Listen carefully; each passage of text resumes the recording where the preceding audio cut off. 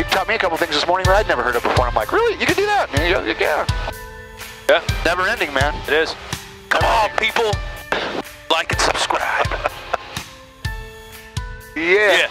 And if you want to know about our day, check out Chopper Guy 53 Instagram, and you'll find out why I got in the mood today. Yeah, go to Chopper Guy 53 and figure out the uh, what put, put, put, put Chris in a, a bad mood for lunch today. yeah. Oh goodness. All right, what are we doing? We go go go around. You want to do the uh, cyclic, or Yep. you want to? Uh, I think he's slowing down.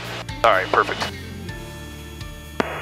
Goshen traffic, copter 3 Star Hotel. Come to over top the approach end of two seven on the right downwind 5. All right. Yep, perfect. All right. Welcome back to HOGS Daily Flight Brief, and today we're going to talk about something that Chris and I, even though we trained together years ago, now we have a little bit of a different take on how we apply this, and we'll talk about that so you get two different, a little bit two different views. But we're going to talk about the the need for when you enter an auto rotation, you need an aft cyclic pull, and if you don't, the nose drops, RPM drops, and then you just start chasing the thing all the way down. Once you, at the beginning of the auto, if you don't enter it nice and get a nice entry, then you and you one thing's off, then you chase it all the way down. You're up and down with the collective, or you're back and forth with the cyclic. So during the auto rotation entry, a nice small aft pull, I call it set the speed. Because what I do, if, if I'm using 70 for a glide, I like to enter about 72, 73, 75 a little faster than my glide speed. So when I go down collective, proper pedal, now that I'm flying two different aircraft, Right. proper pedal and a small aft cyclic pull. That brings me back to 70. It sets the speed, keeps the RPM nice, nose doesn't drop, and it makes for a nice auto rotation. And then I mentioned yesterday that there is an accident, an EMS accident, where the guy's traveling along at 120 knots or whatever, has engine failure at cruise speed, and they determined that he didn't apply aft cyclic, lost rotor, rotor RPM, and I believe everybody died. And it's been a while since I read that accident, but that's a legitimate accident re- accident report that happened in EMS. You know, the, the improper training from the company on what to do during cruise flight at that speed, not giving him the proper training to make sure that you do the aft cyclic pull. So it's more than just a training aspect. If you have it in the real world, especially going faster than your normal training speed, you need to a small amount of aft cyclic to keep the nose from dropping and keep the RPM where it's at. Now, we- try not to discuss this stuff too much before we go out for the day, but this we talked about a little bit today, and you have just a little bit different view on the entry. So go ahead and give them your thoughts, kind of what where you've taken Well- it in your training as an instructor. If, if you've watched previous videos, you you know that I like to do real world stuff. I like to teach real world. So I know once you get your rating, you're going to basically go, be going from point A to point B, and you're going to go from point A to point B at cruise airspeed. So why not practice your auto rotations or your entry into your autos at cruise airspeed? Sure, makes sense. And the same with the altitude. I know that you're going to go 500 feet above A- or AGL or 1,000 feet AGL, whatever you're going to do. So why, you know, why when you enter the auto, um, are you exactly at 500 AGL and you know 60 knots because that's what we want during our glide? No, I want you at, you know, if you're going to go cross country at 1500 indicated, then I want to be at 1500 indicated, and I want you at 80 knots or whatever your aircraft uh, cruise speed is. 80 knots is Yep. what we use in here. So that's how I train. That's what I want them to train. And so I'm going to have a little bit more of an aft cyclic input than you would because I'm cruising at 80 and I want to back it down to 60. Faster speed. So, Absolutely. so yeah, so it's just a slight little, and that's how I teach. And this down left aft, down collective left pedal, aft cyclic, down left aft, down left aft, down left aft, and if you have to make a turn, down left aft turn. So that's that's how I get it get it in there. And so today we're just going to set up for a straight in auto, and you're just going to see I'm here. I am cruising at 80. I'm at 1600 indicated, down left aft, and then just get your scan going. Goshen traffic, helicopter 3 Star Hotel out at 1 mile, final 5, Goshen. And then maybe after this one, then maybe we could do one where you don't use aft and see what happens. Or let's see, Alice, we'll, pick- we'll pick up this up after you get done All right. doing your thing here. All right, clear on the left. Everything's looking good. Here we go. And three, two, one. Down, left, aft. Looking for that 60. And in this, this aircraft's going to slow down anyway. So you're just actually, you may just be adding just a little bit of input. So you have now gone through a little bit.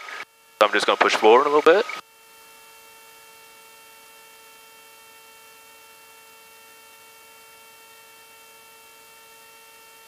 Here comes my treetop level. A little bit of a flare. A little bit more flare. Throttle's coming back on. And pedaling. So what I noticed was, because you went from 80 to 60, your nose actually came up. Yeah. Which is a good thing, right? It's better going, it could be, almost likely. good, but it also loads the rotor, so it keeps your RPM up there. But uh, in this aircraft, I don't know, it's kind of strange, I guess, because I don't, I never happened in the instrument. When you enter the auto, this thing automatically slows down. It just, it just does. Um, so you know, you're just applying a little bit of aft pressure, a little aft cyclic, to bring your speed back. But you know, the tendency of overdoing it is great with a student because they're just learning. But and that's and that's part of we've had this discussion before. That's part of the reason why I say 60 instead of 50. And I will tell you the POH from Guimbal states 50 Right. in their autos. Okay, Right. but I like to use 60 because guys get slow. Right. So if you shoot for 60, you may end up at 55. Right. You may end up at 50. Hell, you may end up at 40. But Right. at least 60 gives you a little bit of cushion there, and you can always burn that speed off. Can we go? Can we go do one with and not use any aft and see and how different it would be from what we just did? Yeah. And to touch on a point that you made either while we were flying or before about the yeah, if a student you said it earlier, if let's say 60 is the number you're using for your training aircraft, you'll you'll get students that like they want to enter the auto at 60. Yeah. And they want to glide at 60. Right. It doesn't work if you have an aft pull because you Right. enter it, and then when you give that little bit of aft pull that you need to keep the nose from lowering, then you you're pulled, you pulled back. So let's say you just went from 60 to 55. So then you go, oh, well I'm a little slow. I need 60. So they go back forward, and then they hit 65, and then they go, oh, uh, no, too fast. Then they pull it back, and that's why I'm saying how they'll seesaw with the speed. If you don't have the nice entry, you don't pull the aft, the nose goes down. Then you start monkeying with that cyclic, Right. and then you still might start monkeying with the collective too. And it's uh, RPM goes, so then Yeah. they pull up. They pull up too much, so what they do? They go down too much. And as a student, that's normal. yeah, Everything's going to be everything's going to be exaggerated. and it's all about muscle memory. You know, Yeah. so and that's the, again, it goes back to why I like to be at 80 when I do it because you want that muscle memory of aft cyclic. If you enter the auto at 60, then you don't have that muscle memory. Or if you enter the auto auto at 60 and still pulled aft cyclic, now where are you going to be? You're going to be at 40 or 35 or whatever. This thing slows down by itself. Right. So that's why I like to use that 60 because students get slow and the aircraft automatically slows down. So So in the event of that EMS pilot that was killed, along with his crew, if he would have done the aft cyclic pull, accident probably wouldn't have happened. How do they know? I don't know. I'm assuming computers on board. Oh, how yeah. did they exactly determine when they're all dead? I don't know how they determined it, but right. that's what the accident report said. And that's how it came out, that they determined that well, and high forward speed, Well, or engine failure, and you know he's busy in the cockpit or whatever. Right. We don't we don't know. We well, weren't there. there's such a thing as uh, you know, airplane people don't realize this, but we, you know, we actually have a VNE power off. You know, so Right. maybe if you, you know, you're already at high speed, your cruise flight, you have an engine failure, you don't slow down, you could be pushing your VNE power off speed. So um, that could have been a factor. I, I don't know. I, I think I've heard of the accident you're talking about, but I have not read any Yeah, of it. I remember it distinctly because it came up, I believe, in our EMS training when I was still in EMS, and, and we discussed it at length. So I know it's a legitimate accident that happened. All right, so this time I'm going to enter the auto, and I'm not. I'm just going to try to maintain our airspeed where we were, not pull aft cyclic. But I think you'll see that this aircraft, that nose comes up, and it even to even down. without an aft. Yeah. Okay. I'm going to really try because now it's you know it's in my brain to pull Right. aft, so I'm going to really try to keep that cyclic right where we were when we entered it. Goshen traffic after 30 hotels on the right base turning final five, Goshen. All right, everything looks good. Yeah, I'm still new to the Cabri, but I know other aircraft I've taught in. It's more pronounced. If you don't do an aft pull, Yeah. You you actually legitimately notice the nose drop a little bit, RPM drop. I think the way it's set up, that nose actually comes up, and it that's why. So I'm going to I'm going to try to hold it there. Bird 80. And I'm going to really have to think about not pulling back. Clear on the left, make sure nobody's coming down. I don't see anybody. Clear on the left. All right. Here we go. In three, two, one. Aha! Yeah, so it does. Look at that. Yeah. Nice. So maybe that's what it is, part of it. So it did. That nose dropped, and you see the rotor RPM came down? Yep. Oh, and it was immediate. Yeah. I mean, it was immediate. It That nose went. I wonder if I was kind of pushing forward, too. Well, you might have. my- I don't know. All right, there's I- a up level, a little bit of flare. I suppose that's possible. But it did kind of, it did, uh, I was expecting. dropped. I was expecting to be surprised and go, "Oh yeah, you're right. The nose didn't really drop, but it sure. it did. I was like, Surely did. it did drop. And maybe that's, maybe when when students enter the auto, they're pulling aft cyclic, and with the aft cyclic along with the nose coming up, it just, it's more pronounced. Right. With that one, I was really trying to keep cyclic forward so we kept our airspeed. But yeah, you're Kenny Keller. good. Yeah, that nose kind of came down, didn't it? We just kind of that. It did. You see that RPM? I was surprised by that RPM Yeah. too. Right away, we got the low horn. Yeah. Right away. That was kind of learning something new every day, aren't you? I am, and it, it's just fun to go out and it's fun to talk about this stuff and then go out and test it and and see how it directly f- affects one particular aircraft. Yeah. You know. Well, you know, I guess we're just gonna have to go in because we're having way too much damn fun. I But mean, you you, you, got to quit while the fun. I mean, Right. we're having such a great flight. I think we need to call it a day and go in because it's But just you think I can do enough landings out here? I can write my name. probably. I'm sure you could. Maybe I can get Chopper Guy 53 out here written on the snow. That would take you. That would. I bet you'd take. I bet you'd take damn near an hour to, to print out with your skids Chopper Guy 53. Because you'd have to do the. Because you got two skids, so it'd be like an outline. Oh yeah, like it'd be like a, a thick lettering. stick two lines. Yeah, like you're right, yeah. C, H. That would take you a while. We got nothing but time. Let's just burn a Chopper Guy 53 in the snow.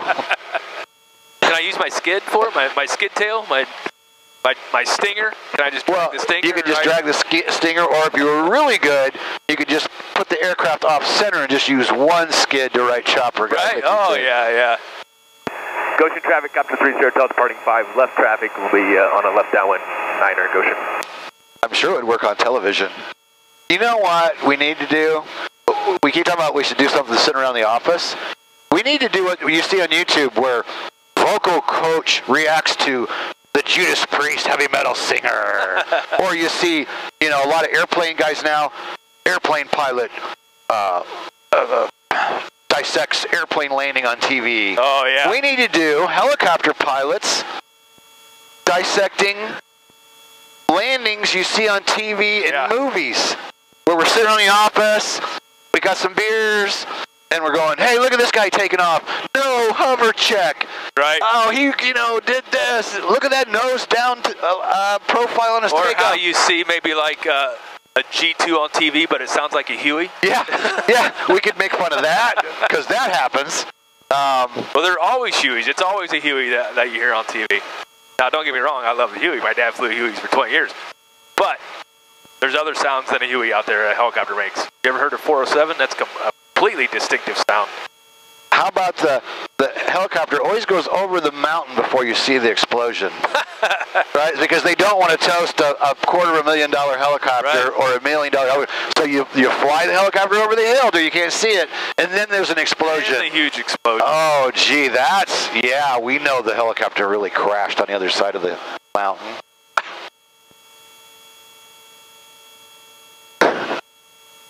Way too much fun.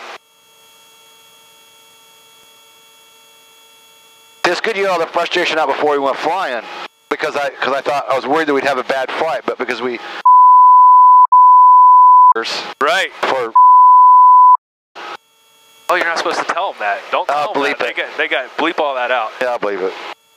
Let's just say we went somewhere that started with the C They usually are known for ice cream, but they really screwed up my sandwich. Hell yeah, I heard a, I heard a couple jokes yesterday. I was trying to remember them so I could tell you on camera, and I can't remember the joke. I get the morning corny from How do how do ghosts listen to music? I don't know. By Bluetooth, of course. Oh God. Oh,